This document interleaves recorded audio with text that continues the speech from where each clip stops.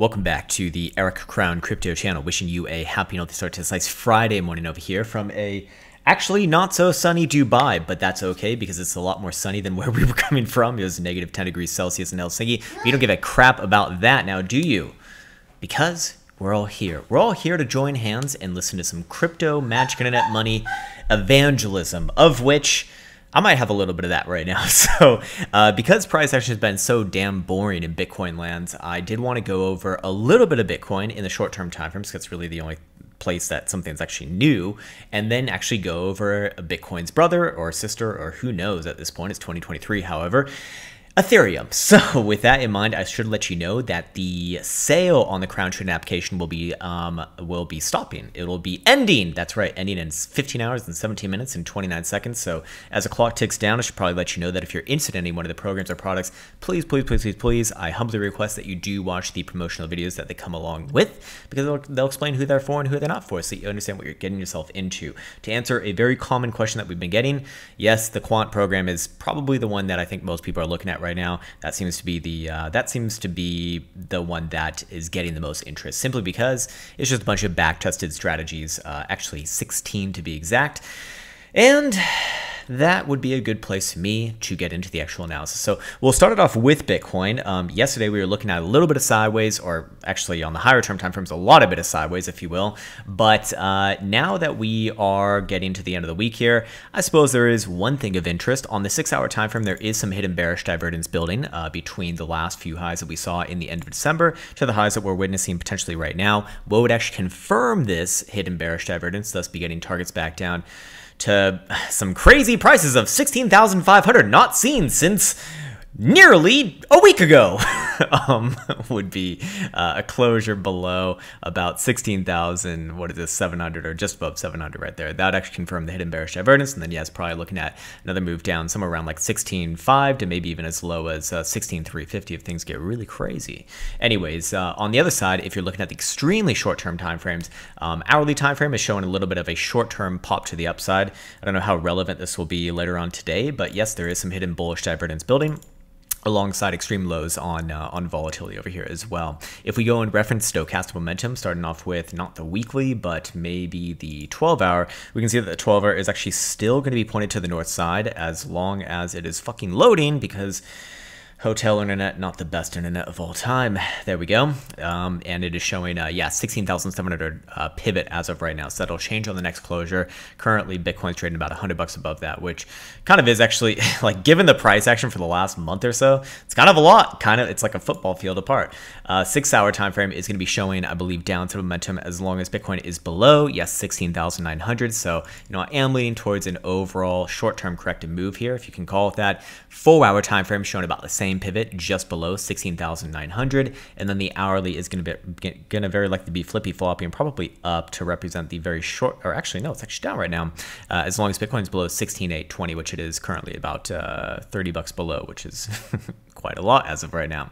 Anyways, uh, to um, to address perhaps a uh, an incoming question, no, this doesn't have anything to do with the long term analysis. What we went over yesterday is still very much variable, still very much viable and valid. Viable and valid is what I'm looking for, um, which essentially does suggest that over the next few weeks, you know, heading into the end of, uh, January, almost to December, right there, we're probably looking at some more sideways in the near term, and in the uh, and then closer to the end of the month, probably Bitcoin does try for an upside moves based off of the setup that we are looking at yesterday. But you know, short term, medium term, sideways, you know, between kind of that 17,000 level and about 16.4, 16.5 region probably the name of the game and you know get ready for some more sandpaper i suppose anyways uh, i wanted to now go over into ethereum simply because ethereum does have something slightly different going on over here um, i do think that ethereum is showing relative strength to bitcoin and that can very easily be seen on the charts here because Ethereum never even made a lower low in the November Dumpo low party compared to what we did see in June. So ultimately Ethereum relatively strong compared to Bitcoin. So I do think that it's you know it's it's, it's a little more of an interesting chart right now as my damn chart continues to reload. Anyways, uh, yes. So the what I wanted to go over right here is a little bit more of a specific setup um, to Ethereum, and that is this: we are witnessing extreme lows on five day and also weekly, by the way, uh, volatility right here, and these extreme lows have seen have been seen many times in the full-on history of Ethereum. And if we were to actually backtest this and look for what the average move happens after these extreme lows are hit, well, I've gone ahead and already done that. There's been 13 times when it's been what I would define as extreme lows.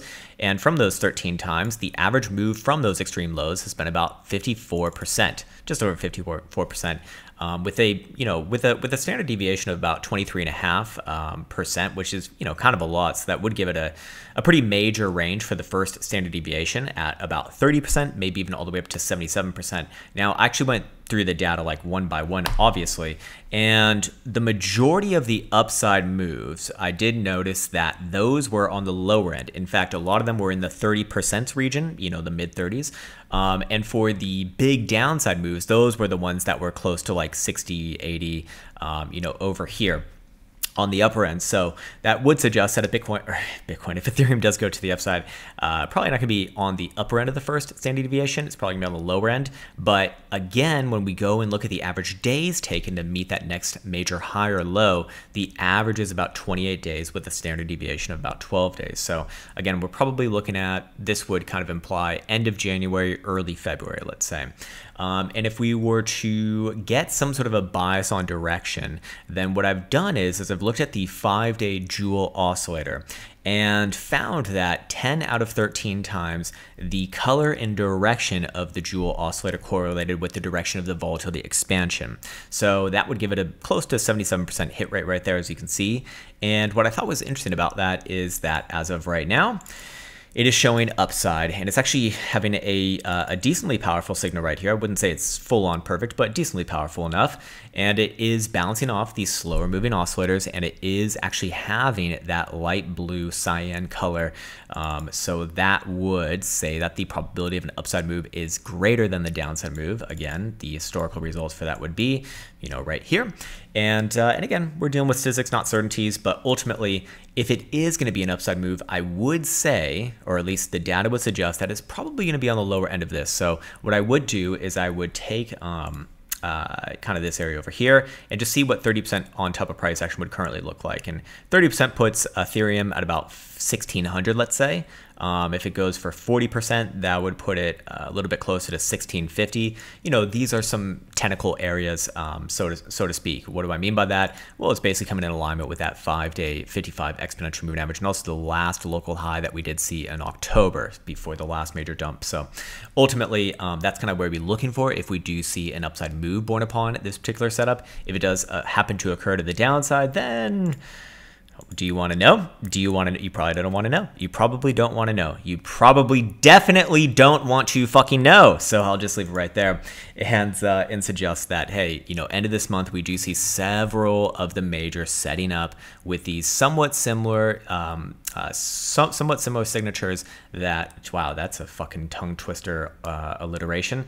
Um, but uh, but yes, they're they're all kind of like rhyming right now, and so that is a good signal, at least in my opinion, that uh, you know we're very likely to see you know this next major move, um, probably around the end of this month, January, and probably you know again as of right now, I, I do I do look at uh, what the data says, and the data says that the upside is more likely than the downside. So I'll leave things right there. I want to wish you the best, the best as always. It's a lovely Friday, I think, uh, at least hopefully. So so with that in mind, um, you know well, do whatever the fuck you do on a Friday, I guess. Do whatever the fuck you want to do. Much love, take care, and see you hopefully soon.